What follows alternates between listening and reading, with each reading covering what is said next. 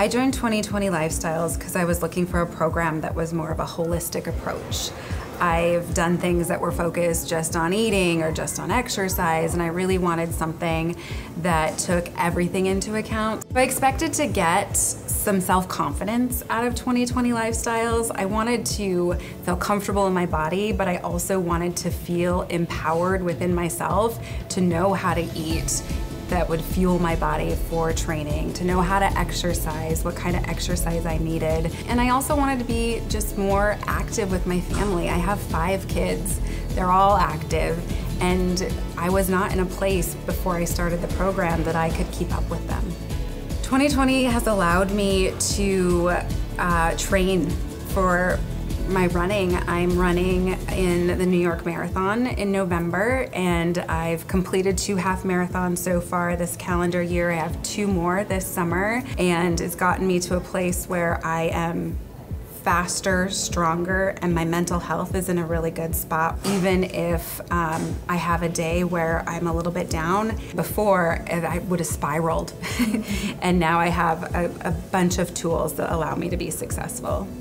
During the program, I lost 65 pounds, and then I've continued to lose about 15 more after the program using the tools that I learned to get there.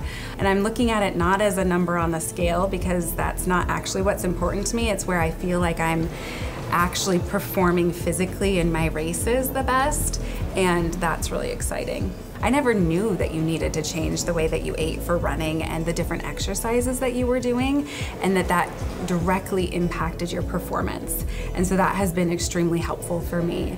I have continued to meet with my trainer uh, twice a week since the program ended and I am lifting heavier than I ever thought was possible. I um, actually do it with good form, so I haven't hurt myself. I'm not afraid of food anymore.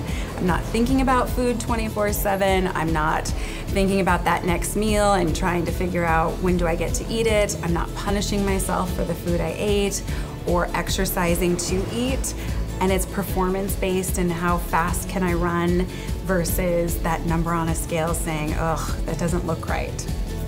I never felt alone and I always felt like I had someone I could reach out to, whether that was my dietitian, my trainer, my therapist, meeting with the provider on a regular basis. I had people that could answer my questions or just give me support if I needed it.